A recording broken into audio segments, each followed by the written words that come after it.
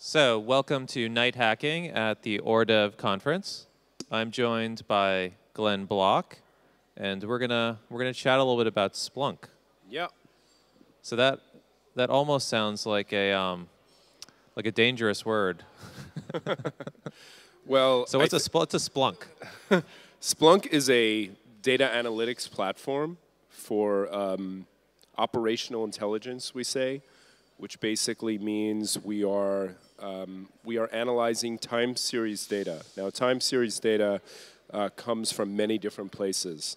Um, one of the most common cases is you have servers that are generating logs. Well, when those logs are getting generated, all of those entries within uh, those logs are time series. They have uh, a timestamp associated with them. So what Splunk will do is it can take in data from many different formats and sources, that is time series data, and it will allow you to search against that data real time. Um, and one of the things that's really powerful about the product is the fact that we say it is schema at read time. So we take in the data, and there's no schema that's applied.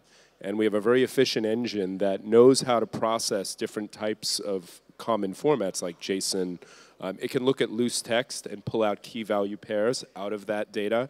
Um, and you can even tweak it further with regular expressions to deal with files that are not um, don't have a structure a structure similar to like JSON or XML or CSV. Um, so it's really, really powerful, and it has it has support for a lot of common log formats like Apache, uh, MySQL, SQL Server, IIS built in.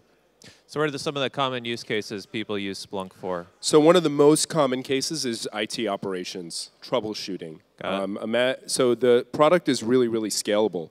So I can deploy these agents, we call them forwarders, that sit very close to where the data is generated.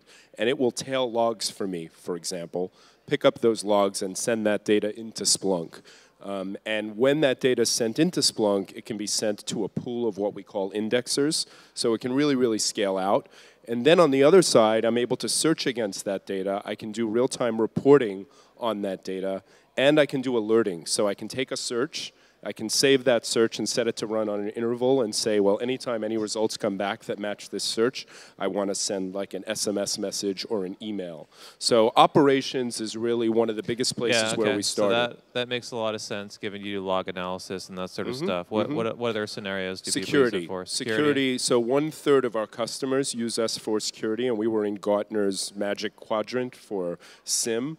Um, so we are. Uh, so if you're doing things like anomaly detection, uh, intrusion analysis, these kind of things, Splunk is really great for that. Got it. particularly because of the fact that it handles real-time data. The, you know, you, you don't have to just look at historical data. You can do a query with Splunk that is continually monitoring forward, and anytime any kind of red flags come up, you immediately are able to take proactive action. Cool. And um, if you want to programmatically access Splunk and do things, what what languages and APIs do you support? Sure. So at the bottom, Splunk as itself is really an API server. So the Splunk admin tool is a JavaScript application. It basically is using JavaScript to talk to our API. So, Got it. so foremost, we have an API that so anybody you, can you talk use to. your own API in the tool itself. We use good. our own API, and, and I gave a talk on this recently how we made this strategic decision early on to say we have one API that the product and our customers use. There's no hidden tricks or anything like that. If our browser is really just static HTML Mm-hmm. that is just making JSON type requests back and forth to the server. Um, but we have SDKs in six different languages. One you'll probably be pretty happy about is we have a Java SDK. um, it turns out that Java is one of our largest communities uh, in terms of developers that use our SDK. We're really big in the Java community. And part of that is because Splunk is really big in the enterprise, and there's a lot of Java developers in the enterprise, as you know. Yeah, yeah. No, that is the core strength of, of Java. Yeah. but we support Python, we support Ruby, PHP, uh, JavaScript, which, you know, there's a lot of JavaScript happening in the world today, and uh, C Sharp. Well, even most Java backend apps are some hybrid of Java backend, JavaScript frontend. So it all it all goes together. So have you guys adopted the new Java releases? Um, so we support Java 8. We're testing on Java 8. We haven't added any Java 8 specific features yet, um, but that is You're, something you're that doing. I think you're doing better than average.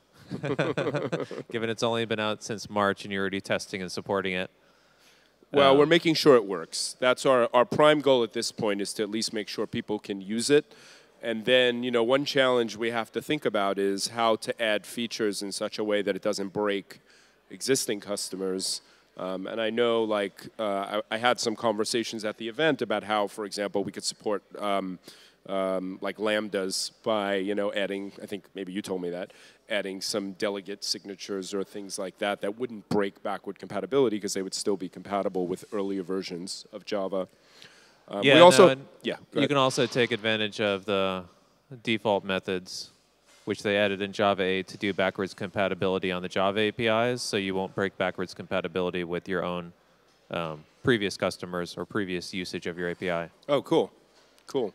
So yeah, no, sounds like you guys have really good language support for, for Java and a host of different languages on Splunk. Um, so what what else is cool and exciting? Do you have any new like features or releases or things going on, or what what are you what are you excited about? Well, so one of the things I'm excited about is in the last uh, year we released an Eclipse plugin uh, for Java developers. So it helps you really get going with um, uh, building an app that can integrate and talk to Splunk. One of the things we also allow, though, is we push the polyglot nature of Splunk to the server. You can actually extend Splunk in a bunch of different languages, including Java. Cool. So one of the really, and, and we also recently added support for Node.js um, so that you can take JavaScript, and we already had a JavaScript SDK that you can use in the browser or on the server, but we also added the ability to extend Splunk with Node. And the kind of extensibility that you're doing there is Splunk by default knows how to do things like read files. You can open up ports like TCP or UDP to send data to it. But let's say I wanted to talk to an API for me or something like Jenkins where you know I don't have access to the log files directly, but I have access to some API endpoints. You can teach Splunk to talk to new sources of data, and one of the languages you can do that in is Java. Cool. No, that sounds interesting. So yeah, so Have you have really you already cool. given your talk here at Øredev, or is it upcoming? I have. Um, I gave my talk um, on my my talk on Splunk was on Wednesday. nice, nice. Yeah. And what were some of the good questions you got at the at the talk about Splunk? I didn't leave a lot of time for questions. That- Um, that is a good presentation trick if anyone's watching. No, we did. I did. I did get some questions afterwards. Um, well, people ask us how do we match up to like Elasticsearch. Um, Yeah. You know, we're using Elasticsearch. How do we think about Splunk? So that w- that was an interesting question. I think a lot of people were impressed with the developer platform capabilities because what happens is because Splunk has really an IT ops kind of it often comes into companies through the IT ops organization and Yeah. developers may already have it in their companies they just don't know about it or they don't have access to it Yeah, no, that's that's interesting. So but there was it sounds like it sounds like you have a lot more entry points for developers to to interface with the data and do interesting. Things. We do but if it comes in through an IT organization they've got to open that up they've got to Yeah. allow those developers by giving them users and things like that so that was actually the biggest question that I got was hey we're in an environment where our IT guys have Splunk we want to get access to it what do we have to do Got it. how do we navigate that cool. Cool. That's exciting. Um, and what what are your what are your plans here while you're out in Malmo? So I've been in Europe exciting? for two weeks, um, so I'm ready to go home. My next plan is to go home on Saturday, That- um, that but it's been a fa- but it's been a fabulous event. It's been I'm, really, I'm one really week good. behind you on that one. I, I forgot to mention one key thing also is that Splunk has a product called Hunk, which can integrate with other types of data stores. We have our own proprietary data store, and one of those is Hadoop. Nice. So um, Hunk will basically talk, allow you to use HDFS to, you know, have all of your evented data, and then you can basically utilize Splunk's UI to query your Hadoop cluster. And we've been getting a lot of traction uh, with customers that have Hadoop and Splunk. It's not a this or that. They're saying we have both. We'd like to integrate them. So yeah, so that's that's a really interesting thing, and we're and we're opening it up to other data sources like Neo for J and other kinds of MongoDB, other kinds of NoSQL sources as well. Cool. Yep. All right. Well, thanks a lot for the short interview, Glenn, and I hope you have a safe trip back. Awesome. Thank you, Stephen.